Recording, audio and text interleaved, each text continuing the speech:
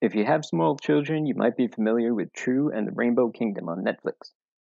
My daughter wanted to be True for Halloween, so we bought her a costume, which came with True's backpack as a plush pillow kind of thing, and I thought we could definitely do something cooler than this. I built this pretty quickly, just in time for Halloween here, so I didn't film every step along the way, but here's the highlights some basic requirements. I wanted the front and back packs to light up with different colors. I thought it would be cool if it played some sound clips from True, especially her catchphrases. And I wanted the front buttons to actually function and be real push buttons that would kick off light and sound effects. So I figured I'd need an Arduino Nano, six individual NeoPixels, not the strips, the individual LEDs, three push buttons, and I'm going to use a DF mini player with a speaker, very small SD card for the sound. Also need some ribbon cable to make the connections from the front pack that will go up around the shoulder to the backpack to make the connections to the actual Nano itself.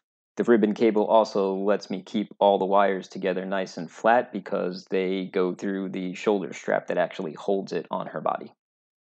Then I spent a couple hours modeling the parts for the backpack and the front pack in SolidWorks. I kept the backpack as individual pieces so that I could paint them and glue it all together later. I'm doing this pretty quickly and I only have a spool of teal and natural semi-transparent PLA, so parts will have to be painted. I also had to size the backpack to my daughter. She's only three and she's pretty small, so it couldn't be very wide or it would be bigger than her body, while at the same time, I needed enough space to cram the electronics and the batteries in. The half circles in the backpack and the front pack case itself are printed in the natural PLA, which is semi transparent, and they'll have the NeoPixels behind them, which will allow the light to show through pretty brightly, but it's not totally clear, so it works well to hide all the electronics. The front pack was designed to be a very specific height with recesses for the buttons that would allow me to print half sphere button tops with a flat lip that could be glued directly to the top of small momentary push buttons so that when it's assembled, the button tops can't shift around or fall out of position, but they use the mechanics of the push button itself below it for its springiness that gives the printed button top that nice clicky kind of feel without having to go crazy. But the height of the front pack had to be pretty exact so that there was enough play for the button to be able to press and pop itself back up into place without being too tight or too loose. After soldering all the wiring together for the front pack, the buttons and the NeoPixels were hot glued directly to the bottom plate cover and everything was positioned so that it would line up correctly with the top cover once it's all assembled. There's also a notch cut out for the ribbon cable to come through as it acts as the shoulder strap. In my original design, I had the cutout in the wrong spot on the back plate, so I just used a Dremel to notch in a hole in the right spot so that it would sit on the right angle.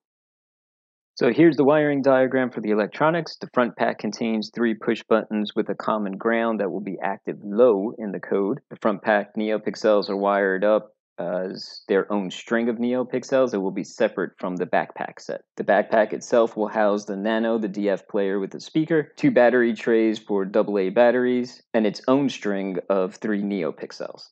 NeoPixels in the backpack are glued down to cut popsicle sticks, and then that's glued across the hole uh, for the opening for the orbs so that the light will be able to shine through. The speaker, the battery packs are also just hot glued down into the case, but I kept the Nano and the DF player loose so that I can pull them up to reprogram them if I need to, and just put some electrical tape around them to keep pins from shorting out if they shift around. And then, of course, when I put everything together, I realized I never made an opening for the power switch. And at this point, I just needed to get it done. So I just drilled a couple holes in the side to make an opening for the switch to stick through that I can flip on and off. The code is pretty straightforward. There's two strings of NeoPixels that will rotate through a rainbow color changing sequence forever, and built into that loop, it checks to see if any of the three buttons are pressed. No need to use interrupts here, just keeping it simple. So when it recognizes a button is pressed, it will flip over to playing a sound clip, and then change the NeoPixel strings to be a rotating chase effect using the color of the button that was pressed. Each of the sound clips are about 20 seconds long, so the chase effect is about 20 seconds as well, and it's blocking code. And that was done on purpose to act as both a button debounce and prevent a three year old from just hammering the buttons or holding it down. So this gives enough time for the MP3 to actually play itself fully while the chase effect is going on prevent what would appear to be like skipping with the MP3. Without this, if you held the button down or if you pressed it repeatedly, the MP3 would just keep starting over and over and over again. So it kind of makes it a little kid safe. The blue button always plays the same catchphrase, so does the yellow, but the red button will just randomly choose a number and select one of the remaining sound clips on the DF player. And then finally, a couple of screws drilled in to keep everything together and make sure the back plates don't fall off while she's walking around trick or treating. Some cheap glitter covered Dollar Tree lacy kind of fabric wrapped around the wiring to act as the actual straps, a little bit of Velcro, and it's done. So thanks for watching. If you have any questions about this, leave them in the comments below. If you're not already subscribed, please hit that subscribe button and like this video if you found it interesting and we'll see you in the next project.